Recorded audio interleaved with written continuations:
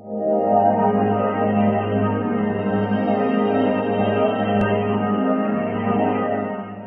chào các bạn, tôi xin giới thiệu nội dung clip này là cách sử dụng bếp an toàn.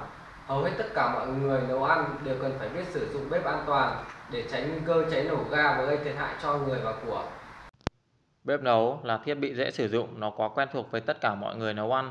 Tuy nhiên, dùng bếp nấu sao cho có hiệu quả và tăng độ bền thì ta cần phải sử dụng bếp theo các bước sau.